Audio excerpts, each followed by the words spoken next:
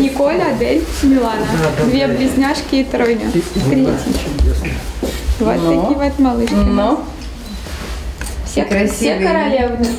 Сейчас сестры Николь, Адель и Милана чувствуют себя прекрасно, но после родов каждая весила меньше килограмма, и им требовалась особая забота врачей. Мама Алина Королева, признается, была уверена в медиках на 100%. Мы знали, что это тройня, мы к этому готовились, шли стойко, уверенно, но все равно поддержка была колоссальная. То есть тут не нужно просить помощи, да, люди видят, и они сами просто идут навстречу, помогают вот так вот обернуть себя душевное тепло, и все хорошо. Сейчас малышки активно набирают вес, и их здоровью ничего не угрожает. Одним из первых гостей, который навестил их, стал глава округа Алексей Спасский. И приехал он не с пустыми руками. Семья Королевых из Подольска. Но о видном у них останется добрая память. Также дочки ваши чудесными именами, они будут открывать, когда свой паспорт, всю оставшуюся жизнь, они будут вспоминать этот чудесный город Видно. Поэтому мы вас Спасибо. поздравляем.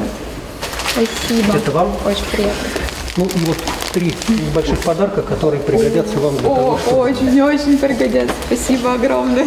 За 10 месяцев 2001 года в Видновском перинатальном центре родилось более 5000 детей, из них 400 недоношенными. А потому подобные чудеса для врачей уже стали обыденностью. Сейчас сложности позади и настроение у всех приподнятое. я вам женихов нашла уже. Очень хорошо. Мы ждем, мы ждем, мы подрастаем. Пятилетняя, 16 года.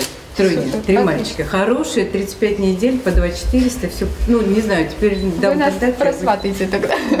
Шутки шутками, но выживаемость детей с массой тела до 1000 грамм с 2013 года, когда центр получил статус перинатального, выросла с 57% почти до 100 в 2020 году.